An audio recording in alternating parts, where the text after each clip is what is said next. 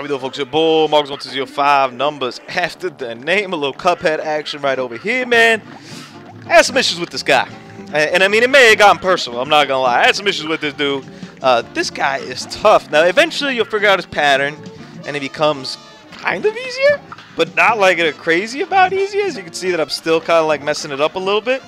Uh, the main difficulty I had with this dude, and it's, it's a reality, like it's, it's just a fact of like how hard this guy can be, is that like the the timing and like the pacing of everything, and I, mean these beginning parts are pretty hard. So that first part, you, you kind of have to like parry away and make sure that your card isn't being moved into him, which seems kind of easy. Sometimes be a little pain in the ass depending on how he's shooting those little eyeballs and stuff.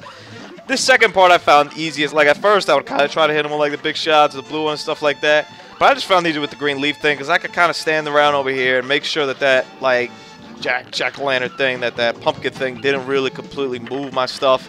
And it maybe takes a little bit longer and stuff, but I kind of put in work when I can, and that's it. So I, I, mainly turned into let's do this as safely as possible strat over here. Uh, the third part about to this dude over here, this part's pretty hard over here because you have to kind of line up on like this one side, the opposite of where he's attacking, and kind of keep moving. But it's just not that easy to like kind of keep moving. So I pop him over there, like the one on top. Yeah, I got kind of lucky that he was directing that that one wasn't the one that attacked me.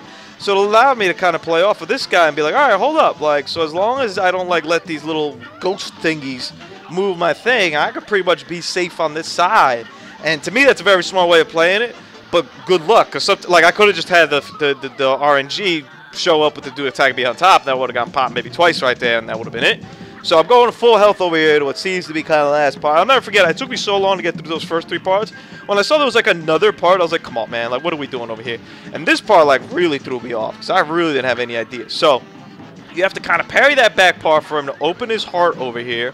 And you have to keep shooting his arms. You can notice I like fell off over there. I'm getting hit by stuff. He shoots like fire out of there, which is just a pain. Like there really is no like way to describe it. I accidentally used my super here, which I had really no intention to once again, the green leaf to me saved me throughout like most of this stuff because I, I just can't follow. I imagine, I don't even know, but I guess you could probably parry your thing to move it forward and stuff.